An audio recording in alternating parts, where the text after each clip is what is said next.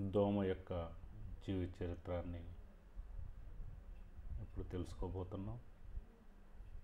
దోమల ద్వారా మనకి మలేరియా డెంగ్యూ లాంటి వ్యాధులు వస్తూ ఉంటాయి. దోమలు వాహకాలుగా పనిచేస్తూ ఉంటాయి. దోమలు దాదాపు నీటిలో గుడ్లు పెడుతూ ఉంటాయి. ఈ గుడ్లు ఒక్కొక్క ప్రతి గుడ్డు కూడా చుట్ట ఆకారంలో అయితే సిగరెట్ ఆకారంలో ఉండటం గమనించవచ్చు. ప్రతి గుడ్డు కూడా నీటిలో పొదగబడి లార్వాలుగా తయారవుతాయి. ప్రతి లార్వా నీటిలో చెలిస్తూ ఉంటుంది.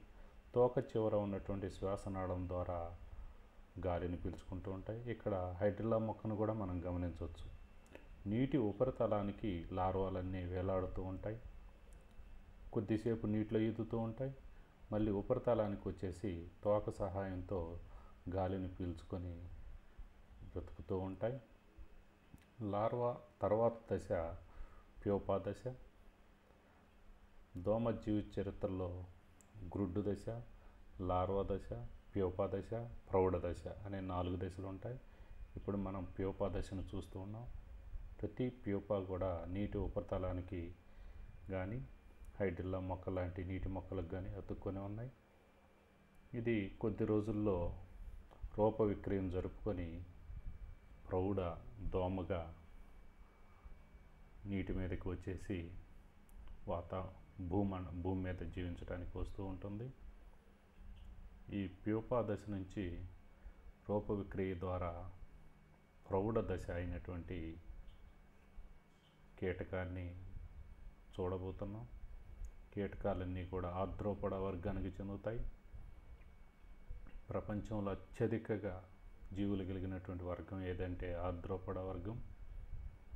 ఇప్పుడు దోమ యొక్క ప్రౌఢ దశని మనం చూస్తూ ఉన్నాం. ఇంకా నీటి లోపల గిరగిరా తిరుగుతున్నటువంటి అన్నీ కూడా దోమ యొక్క లార్వాలేను.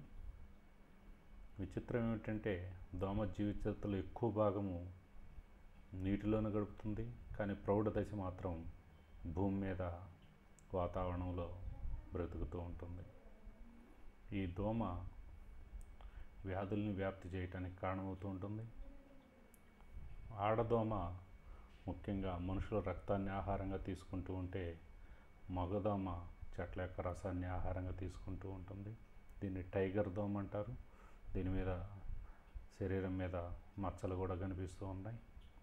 ఇది డెంగ్యూ లాంటి వ్యాధుల్ని కలుగజేస్తూ ఉంటుంది.